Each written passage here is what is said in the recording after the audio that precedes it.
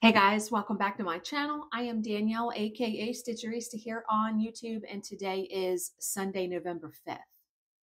So I hope you have all had a good week. I have had a relatively good week. I had a dental procedure on Thursday and I was off of work, and I was so very grateful for that.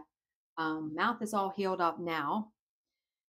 And I got some diamond painting done, got some stitching done, Got a few little purchases, books, movies, all the normal stuff to talk about.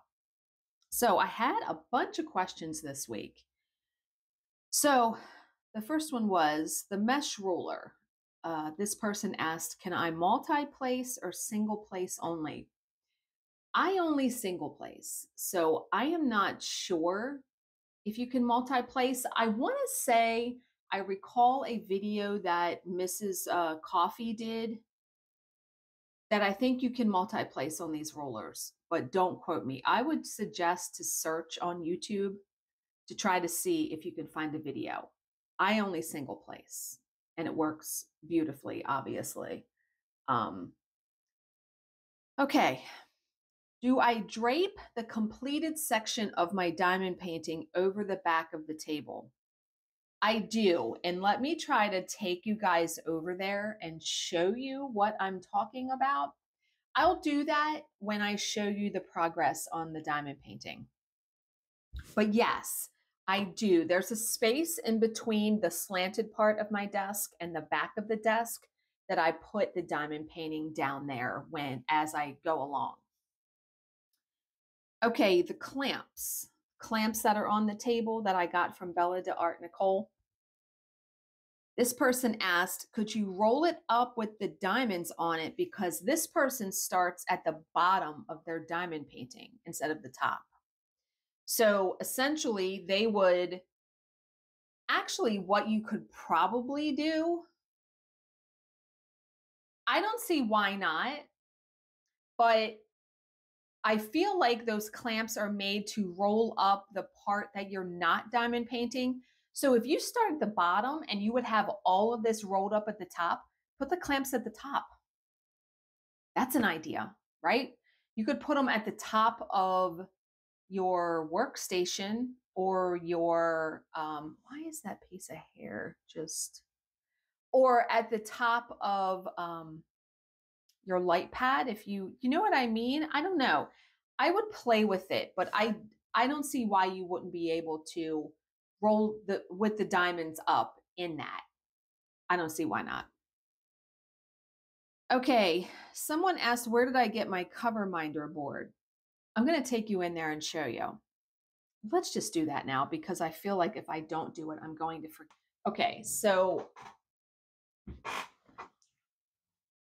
I actually have two boards for my cover minders, and I don't know if this was what this person was talking about. These are magnetic boards I bought from IKEA many, many years ago. I have two of them. Now, I had cleaned off and gotten rid of a lot of old cover minders, and I just kept the ones that I really, really loved. So I only have that many now. But I don't know if IKEA still sells their Charlize when she graduated high school. I don't know if um, IKEA still sells those boards. But okay, let me show you. Do you see this space right here? So when as I diamond paint and I and it comes up, I put it right in here and it falls through and it goes to the back. So yeah, that's that's how I do that. Okay.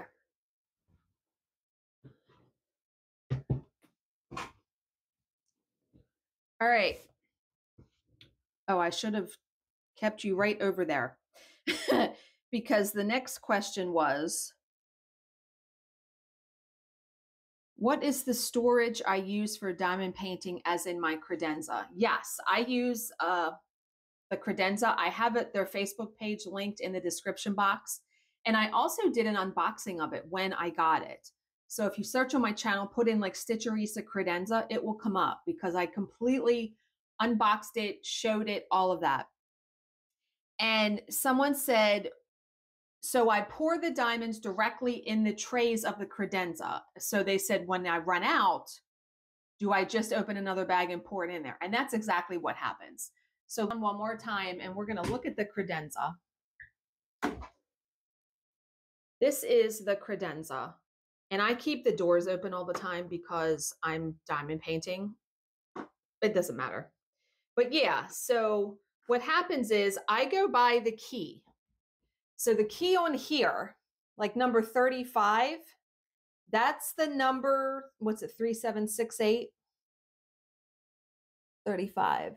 37, yes. So that's the number, that's the number of diamonds, you know, the color of diamonds that I pour in there.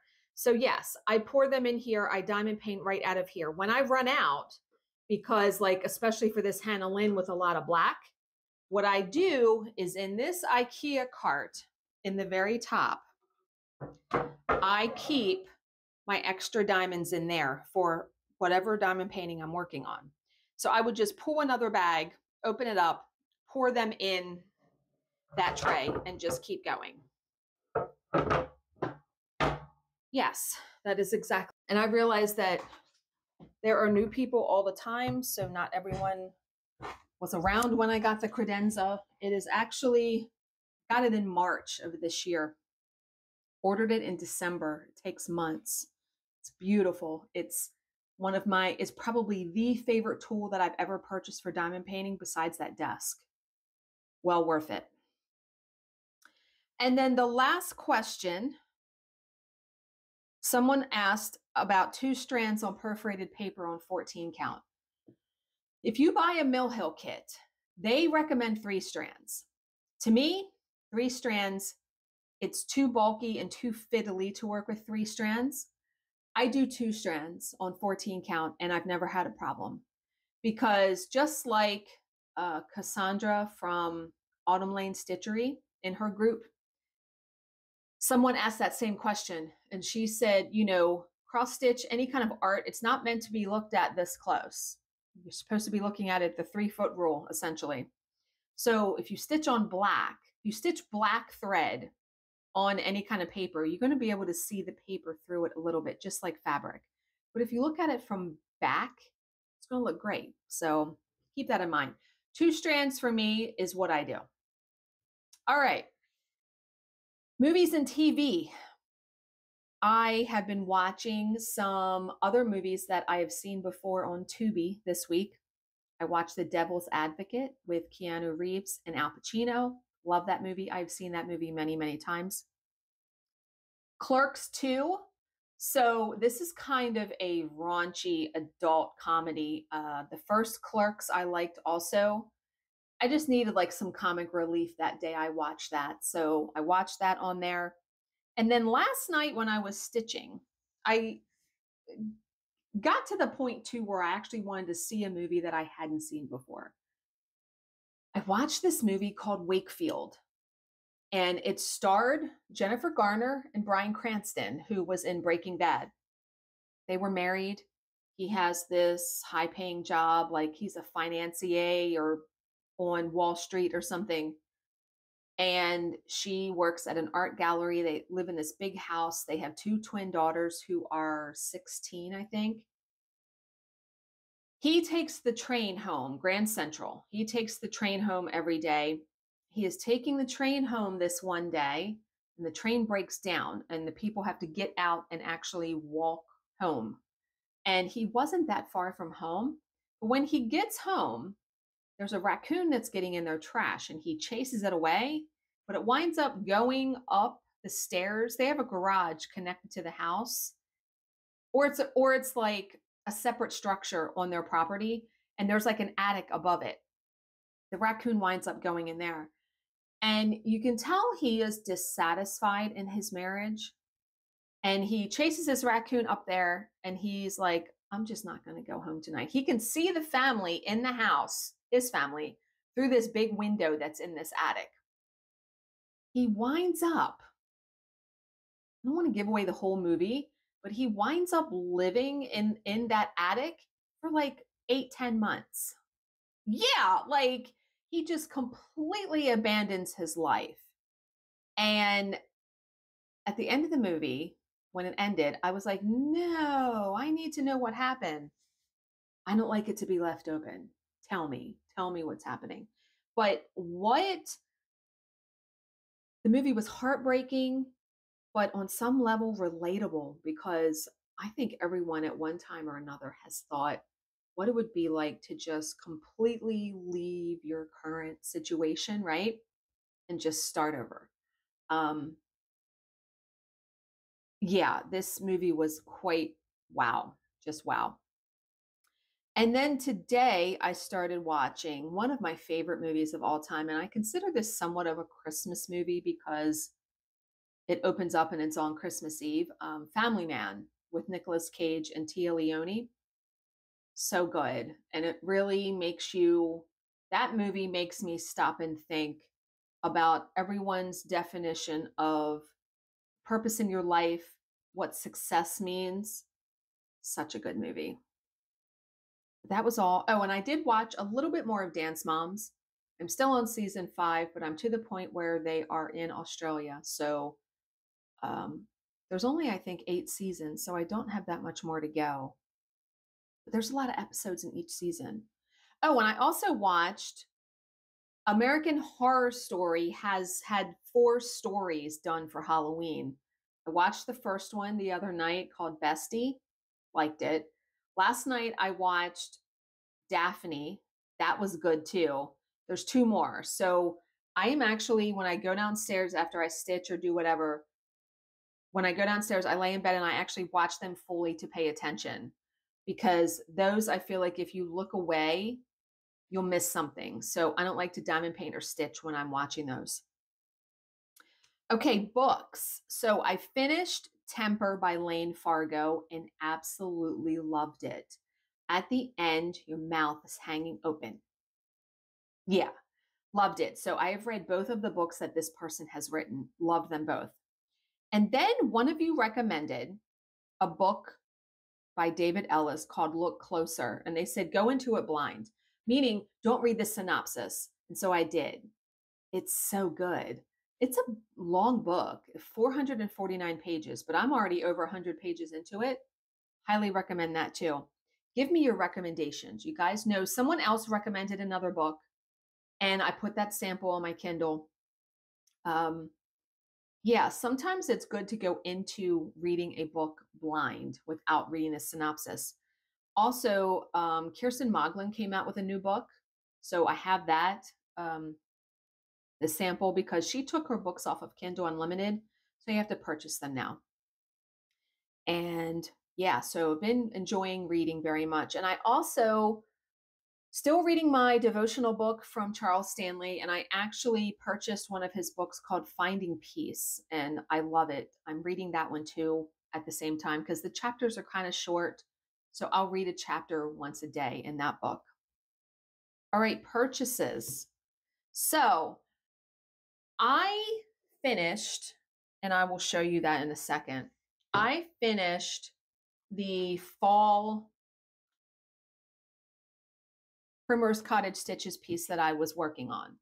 I had had the idea that I wanted to fully finish it on a cutting board. I bought the cutting board from Hobby Lobby. However, when I went to finish said piece, it wasn't coming together how I wanted it to. And I said, you know what I'm going to start doing, I think? I wanted to start doing scrapbook layouts again because I really like working with the different elements on a scrapbook page and working on perforated paper fits perfectly in with that. But I wanted a way to display it where I could pop out the back of the frame and put in the new page when I finish a piece. So I had an idea of getting a frame that I could put on my office door so I can see my current finish there. I found this frame on clearance on scrapbook.com. So this fits a 12 by 12 scrapbook page, but it's magnetic. The back is magnetic. So this whiteboard, watch, it just pops out.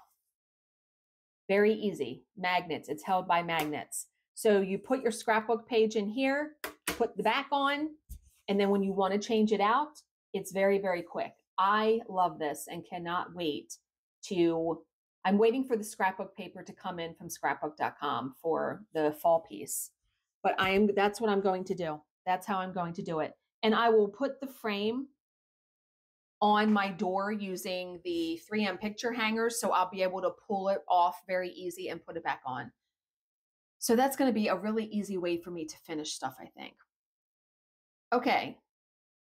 I did purchase Primrose Cottage Stitches their two new releases, which this one is Christmas Trees and Stitching Please. Absolutely love that. I love their patterns so much. I love everything about it. You buy the paper pattern, it's on very good glossy cardstock. And we all know how much I love, and I'll show you a little piece, how big their patterns are. I really love that. It's I make a color copy of this on cardstock, but um love the aesthetic of their patterns. And then this one, I just love it so much because I know I can stitch this on white perforated paper. It is their Christmas Quaker. Love, love, love that. And the floss that they use is Classic Colorworks Cherry Cobbler. But I think I have some color in cotton red still in here that I think I'm going to use for this. It's like a bright red.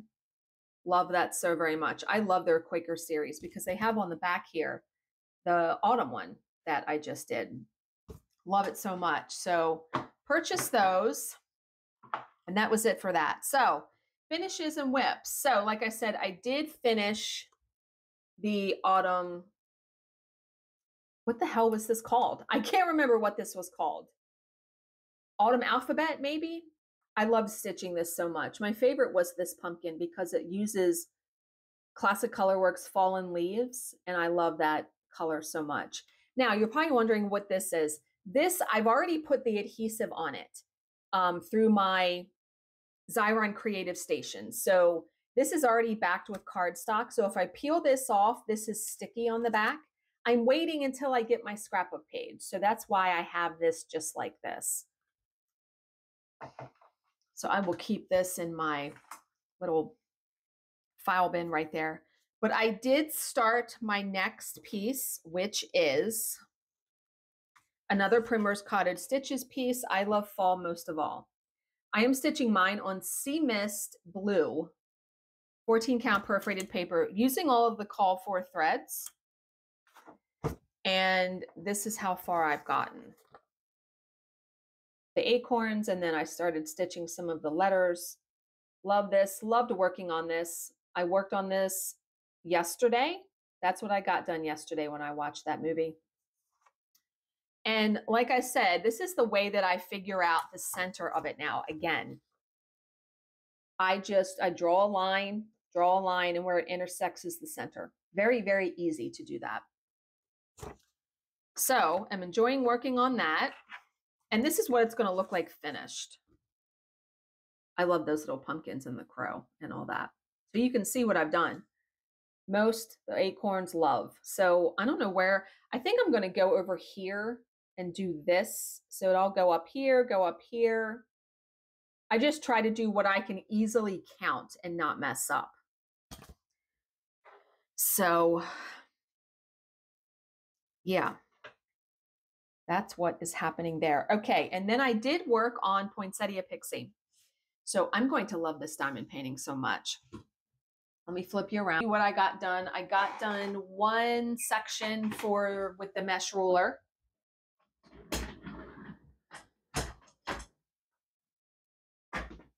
I got done that section. Isn't it gorgeous? Love it so much.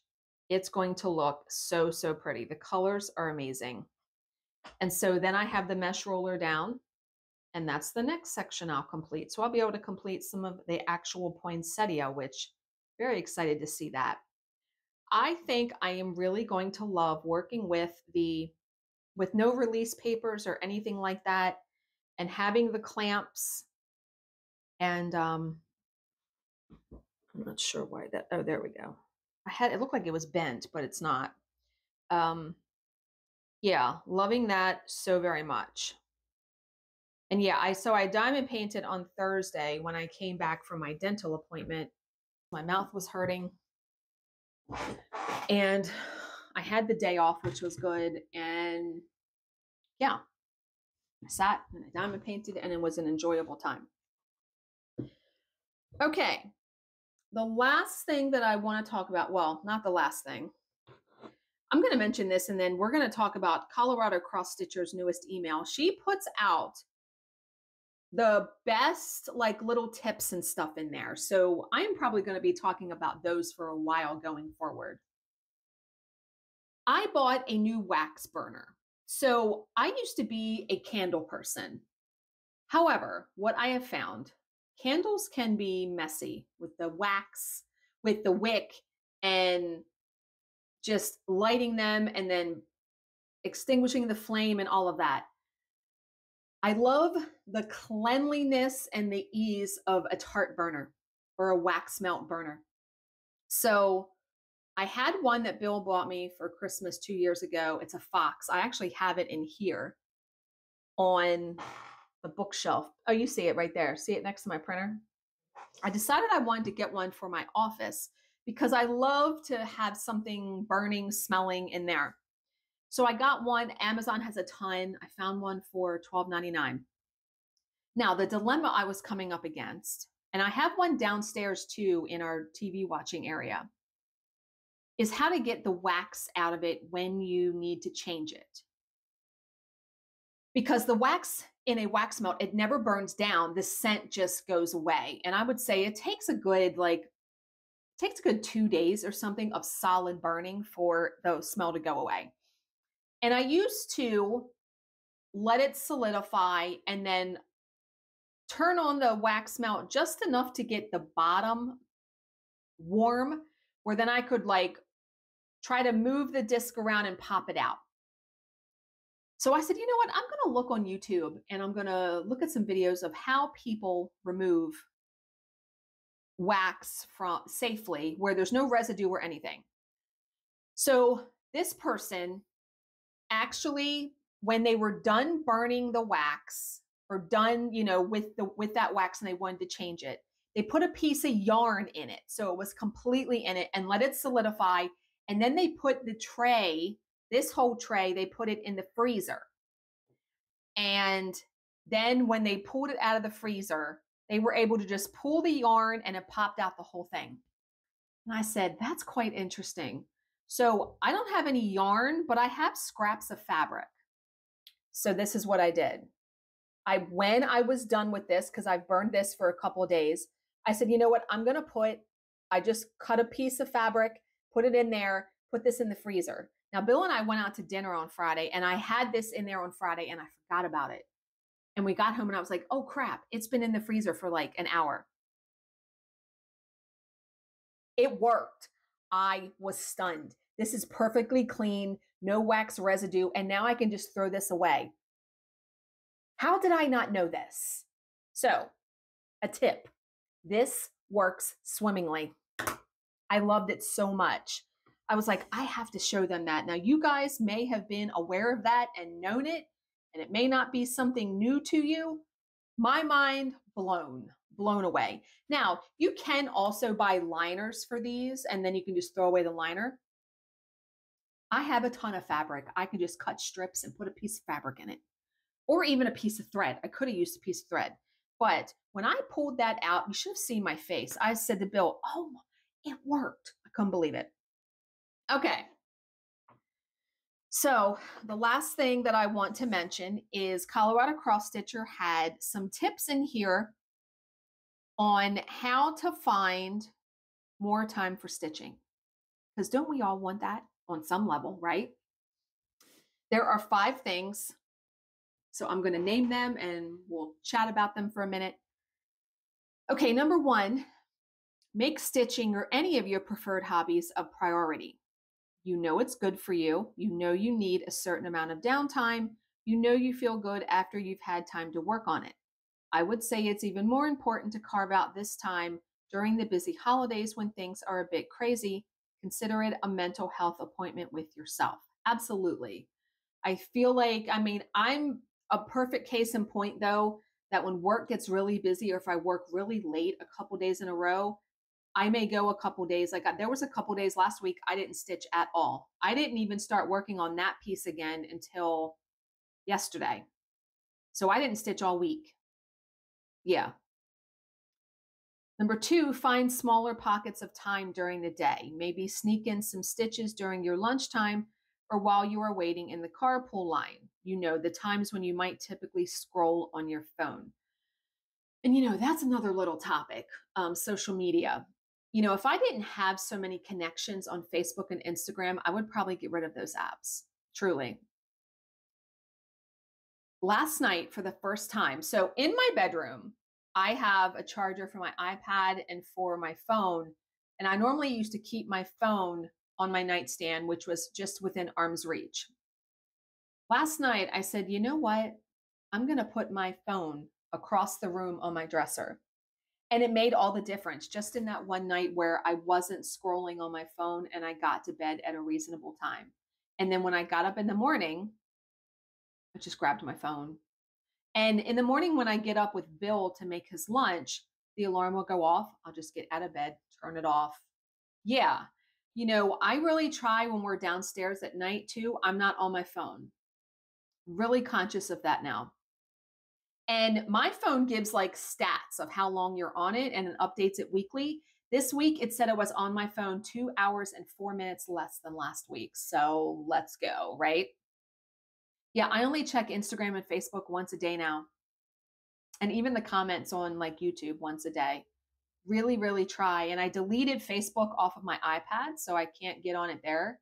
I did leave Messenger because sometimes I will get messages from my mom or Jill or whoever. Okay. But yeah, find smaller pockets of time during the day, even if it's 10 minutes. So there are some times where I will get done work at like three or four and I'm tired because it's been a long day but I want to get some diamond painting done. So literally, I will listen to maybe 20 minutes. I will listen to one of Charles Stanley's podcasts, and they're like 19 minutes. I'll diamond paint until that's the end of that. Little pockets of time, or even do one. And I've said this before: do one length of thread that will at least, if even if even if that's all the time that you had, because I know that there are people that have, excuse me, much busier lives than me kids, pets. We don't have any of that. So their time is even more limited than mine. One length of thread, something, something. Okay. and number three, and I didn't realize this was going to be on there until I started talking about it.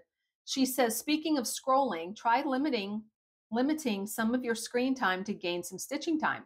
Yes. You know, I've been trying here recently, I want to say in the last couple days, to be much more intentional with my life and with my time. Where in the morning, I get a cup of coffee, I sit down, I intentionally read my devotional book. Intentionally to me means not multitasking, doing one thing literally at a time. And also trying to do things slower. So in my house, I did a lot of stuff this morning before this video. So I don't know if you guys live in a state where there's a time change, but we do in Maryland. So we gained an hour today. Clocks fell back an hour. So I was up at 6:30 and I said, "You know what? I am going to take advantage of this." I did a lot of house stuff, but I was intentional on each task. So I got up, I changed the clocks in our house so they reflected the time difference, put laundry in, then I made Bill's tea, emptied the dishwasher, cut up vegetables because we're having hamburgers today. So I cut up like lettuce, tomato, onion. I made cookies. I emptied the trash. I did a little bit of cleaning.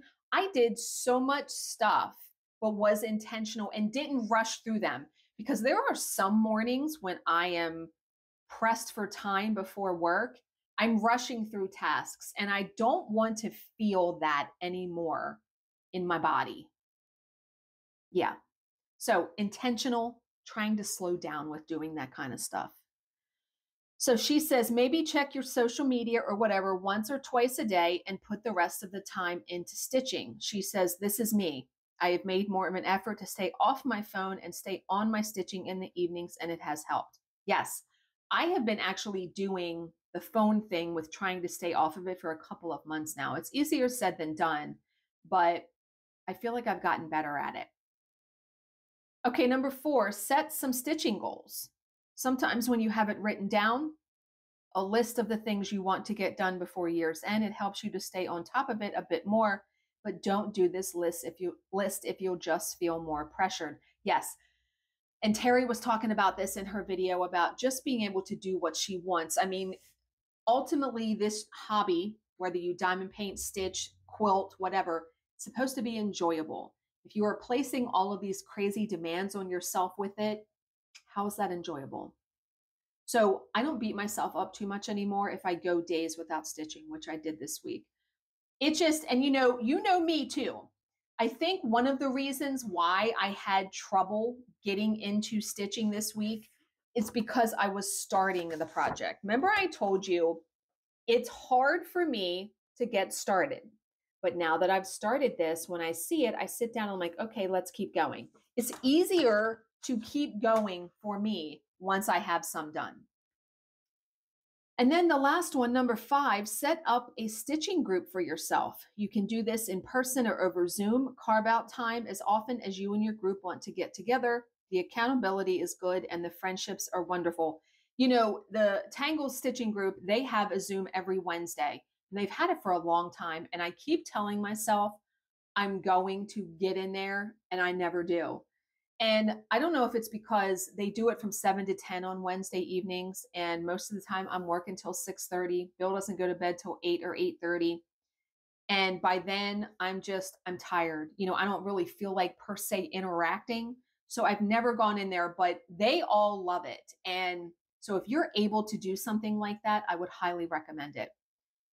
You know, because this craft yes, it is solitary, it's enjoyable to do on your own, but the people I have encountered in this community doesn't compare. Like it, I've made such wonderful friendships at the retreats from my channel that I can't imagine where I would be with my stitching now if I had never started my channel. Yeah. Um, it's it's really amazing, I think, um, the community for both of these crafts. So I hope you guys have all had a good weekend, that you have a good week. Do all the things intentionally. Read, diamond paint, all of that.